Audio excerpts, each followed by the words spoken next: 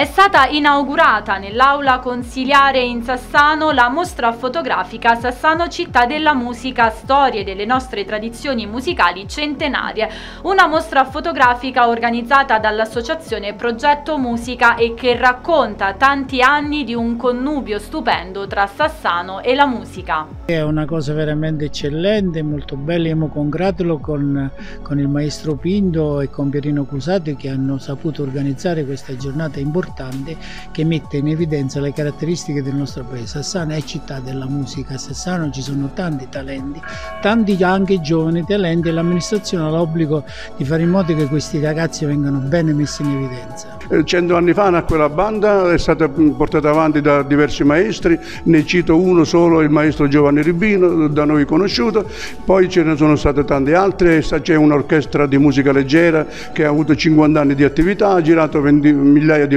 località in 25 province d'Italia di ben sette regioni e queste sono le regioni, poi ci sono dei professionisti che hanno prestato la loro opera, poi d'accordo con il dottore Pierino decidemmo di portare avanti questo progetto del riconoscimento attraverso l'amministrazione eh, dell'epoca del dottor Tommaso Pellegrino. Siamo qui per onorare la musica e tutti quelli che eh, operano in questa bella arte. Sassano ha una rinomata